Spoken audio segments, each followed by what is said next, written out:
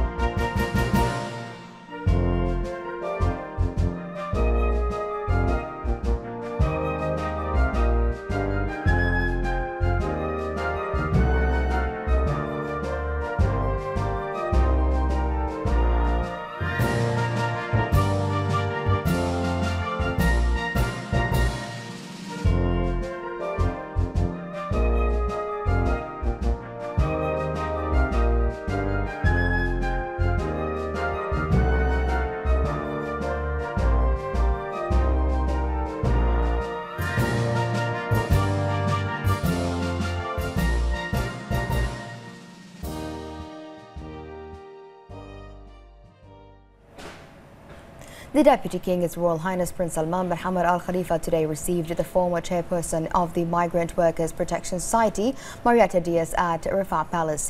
During the meeting, His Royal Highness the Deputy King highlighted Bahrain's commitment to the protection and advancement of individual rights, outlining the kingdom's efforts to uphold these rights through extensive legislations and institutional mechanisms. The Deputy King stressed that these efforts are an integral part of the kingdom's comprehensive development, led by His Majesty King Hamad bin Isa Al Khalifa. His Royal Highness noted Bahrain's landmark achievements in the protection of migrant workers, which have received wide international recognition. The Deputy King concluded by the thanking of the cha former chairperson of her efforts in promoting migrant workers' rights and wished the Migrant Workers Protection Society further success in achieving all of its goals. For her part, Marietta Dias expressed appreciation and gratitude for the opportunity to meet with His Royal Highness and welcomed Bahrain's ongoing efforts in the protection of migrant workers. His Royal Highness the Prime Minister Prince Khalifa bin Salman Al Khalifa chaired today the weekly cabinet meeting and Secretary General Dr. Yasser Al Nasser delivered a statement. His Royal Highness highlighted the importance of the visits held by His Majesty King Hamad bin Isa Al Khalifa to brotherly countries that aim to enhance the multilateral relations and cooperation. He praised the outcomes of His Majesty's visits to Hungary and France and hailed the agreements and MOUs signed with France. His Royal Highness then highlighted the importance importance of holding exhibitions that increase the investment opportunities in the kingdom, such as Gulf Property Show 2019 that was held under the patronage of His Royal Highness. His Royal Highness directed to double the social financial assistance for beneficiaries uh, and directed the Ministry of Labour and Social Development to follow up on the matter quickly, especially that the holy month of Ramadan is approaching. His Royal Highness then directed the Ministry of Industry, Commerce and Tourism to increase monitoring on product prices uh, and ensure the stability of prices in the market. He congratulated Bahraini employees on the occasion of Labour Day and praised the efforts and contributions in the growth and development development of the kingdom. He praised cooperation between the labour force, business owners and the government.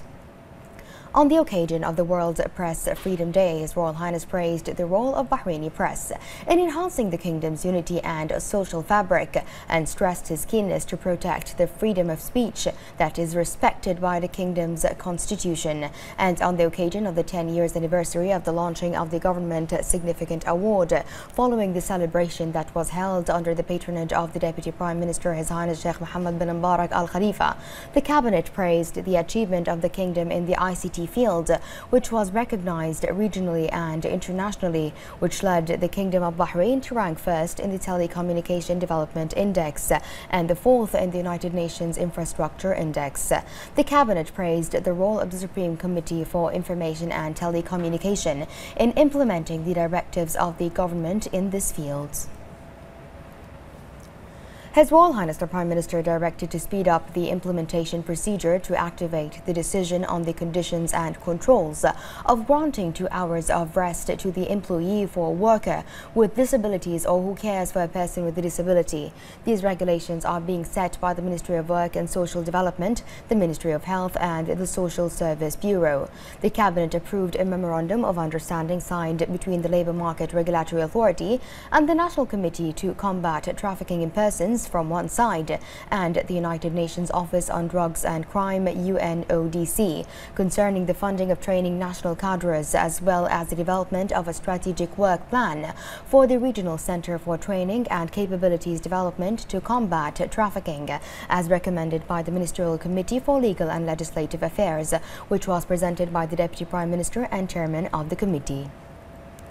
The Cabinet approved the government's response regarding the proposal of the Representatives Council to provide medicines for cancer patients and restudy the policy of the Ministry of Health in the provision of the medicines for chronic diseases, especially cancer. That is, the proposal is achieved through the provision of 200 varieties of cancer drugs at the Salmaniyah Medical Complex that measures taken to fill any shortage.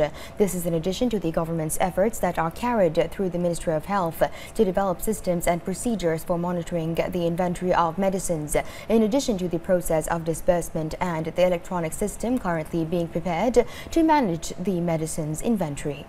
The Cabinet approved a proposal by the Representatives Council to preserve the rewards of the employees of Al Quran memorization centers, as this procedure is currently being carried out.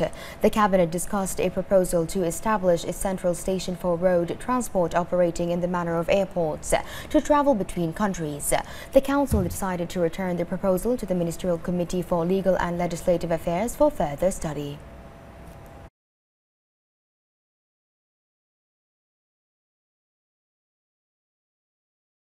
His Royal Highness the Prime Minister Prince Khalifa bin Salman Al Khalifa received at Qudaybiyah Palace today the Sudanese ambassador to Bahrain Ibrahim Mohammed Al Hassan. His Royal Highness Premier discussed with the envoy means of strengthening the solid fraternal cooperation relations between the two countries, as well as the latest developments in Sudan. The Prime Minister affirmed the kingdom's keenness on supporting all efforts aimed at safeguarding Sudan's security and stability in light of its current situation, stressing Bahrain's supportive stances towards Sudan under all circumstances.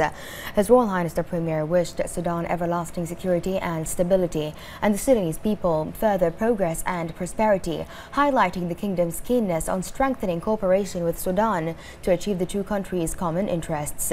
The Sudanese ambassador expressed sincere thanks and appreciation to His Royal Highness the Prime Minister for his interest in bolstering the brotherly Bahraini-Sudanese relations and cooperation, hailing Bahrain's stances in supporting Sudan's unity and stability. He wished the kingdom and its people further progress and prosperity.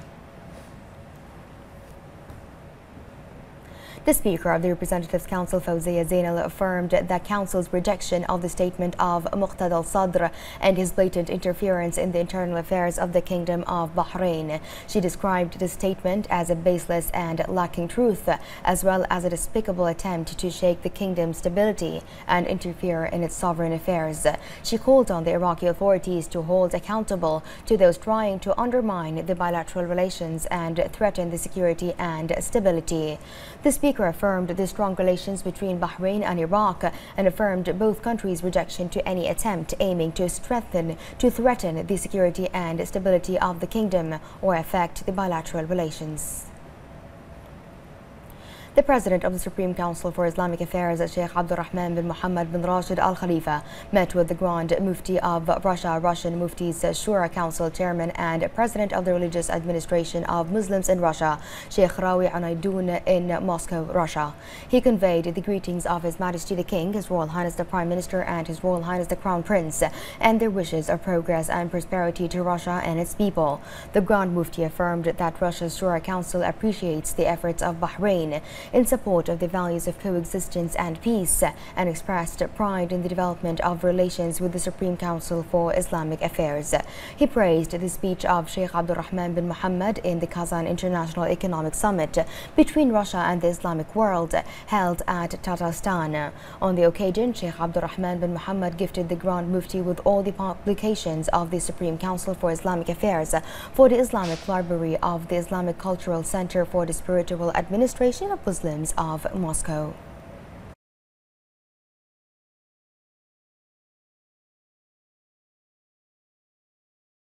The Supreme Council for Islamic Affairs denounced the statement issued by Muqtada al-Sadr and its unacceptable interference in the kingdom, its sovereignty and independence in a manner inconsistent with the principles of values of good neighborliness.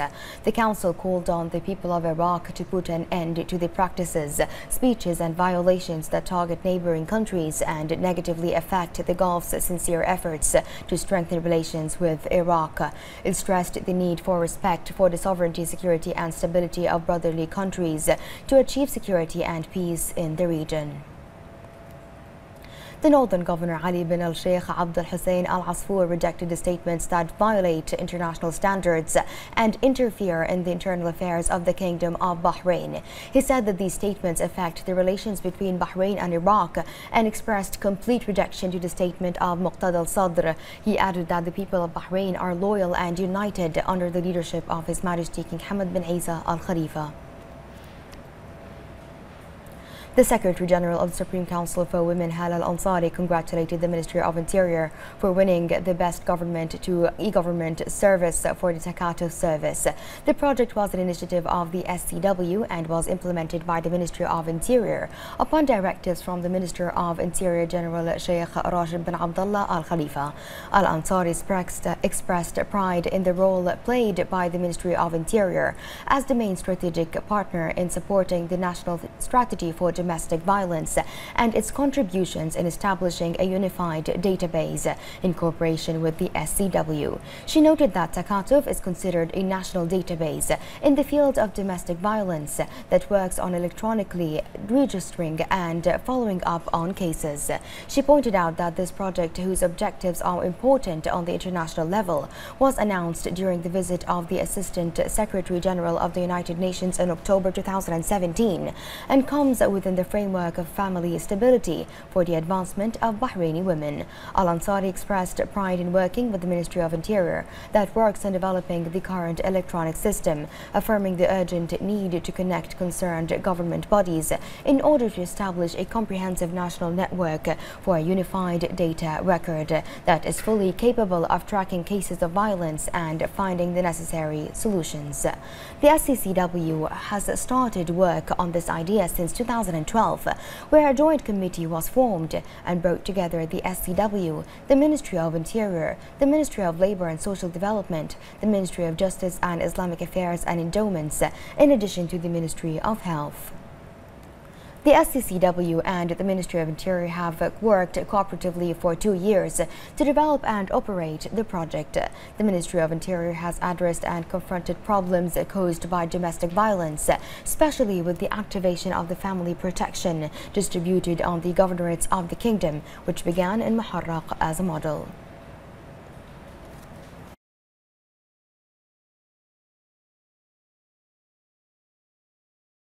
The Kingdom of Saudi Arabia affirmed its refusal to interfere in the internal affairs of the Kingdom of Bahrain and anything that might prejudice its sovereignty, security and stability. An official source at the Saudi Foreign Ministry expressed the kingdom's aspiration for a strong relationship between Bahrain and Iraq in which mutual respect prevails and which contributes to regional security and stability.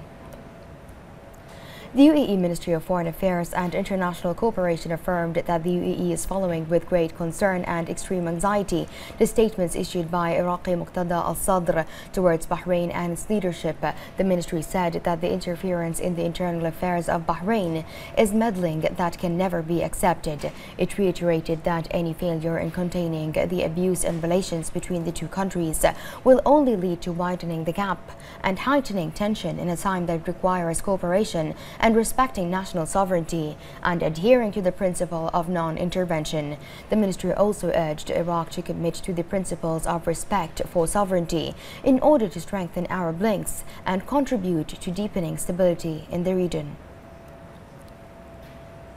Gulf Cooperation Council Secretary General Abdul Latif Al Zayani expressed his condemnation and rejection of the statement issued by Iraqi religious figure Muqtada al Sadr, in which he abused Bahrain.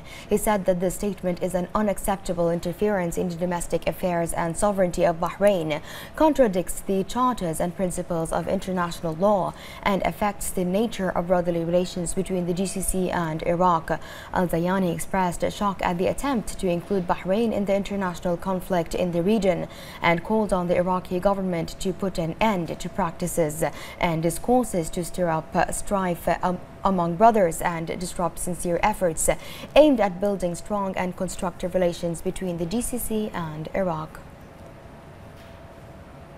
The Jafari endowments condemned the irresponsible and provocative statement issued by Muqtada al-Sadr against the Kingdom of Bahrain. It also denounced the blatant interference in the internal affairs of the kingdom, affirming that Bahrain, people of Bahrain with all its sects, reject foreign interference and stand united and strong against any attempt of division under the wise leadership of His Majesty King Hamad bin Isa Al Khalifa. It also described al-Sadr's statements as far from values and morals and do not reflect reality as they lack the simple notions of politics.